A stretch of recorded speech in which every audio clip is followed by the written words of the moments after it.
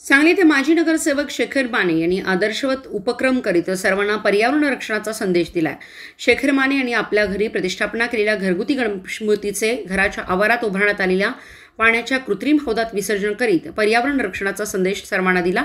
यावेळी त्यांच्या समवेत आई छाया माने पत्नी अलका माने यांनीही माने यांच्या उपक्रमामध्ये सहभाग घेतला.